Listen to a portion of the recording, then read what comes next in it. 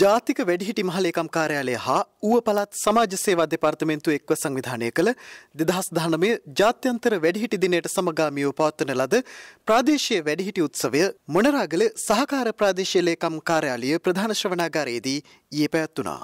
මෙහිදී වැඩිහිටි ප්‍රජාව ඇගීමට ලක් කිරීම වැඩිහිටි කමිටු සවිබල ගැන්වීම වැඩිහිටි ප්‍රජාව තුළ මානසික සුවතාව ඇතිකිරීම යන කරුණු මූලික කරගනිමින් මෙම උත්සවය සංවිධානය කර තිබුණා. මෙම අවස්ථාවට රාජ්‍ය නිලධාරීන් විශ්‍රාමික රාජ්‍ය නිලධාරීන් මෙන්ම කොට්ටාස වැඩිහිටි ප්‍රජාව නියෝජනය කරමින් ජේෂ්ඨ පුරවැසියන් රැසක් දෙෙක්ව සිටියා.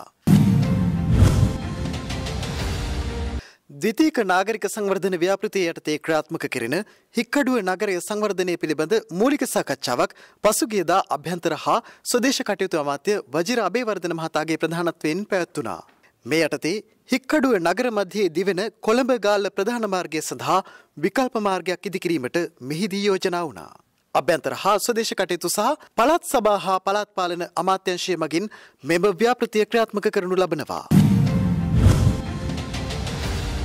හම්බන්තොට දිස්ත්‍රික් හා අම්බලන්තොට ප්‍රාදේශීය සාහිත්‍ය කලා මහෝත්සවය පසුගියදා අම්බලන්තොට නොනගම සංස්කෘතික මධ්‍යස්ථානයේ ශ්‍රවණාගාරයේදී පැවැත්වුණා. මේ සඳහා දිස්ත්‍රික්කයේ කලාකරුවන් විද්වතුන් පාසල් දරුදරියන් ඇතුළු විශාල පිරිසක් සහභාගි වුණා. අම්බලන්තොට ප්‍රාදේශීය ලේකම් කාර්යාලය හා හම්බන්තොට දිස්ත්‍රික් ලේකම් කාර්යාලය එක්ව මෙම උත්සවය සංවිධානය කර තිබුණා.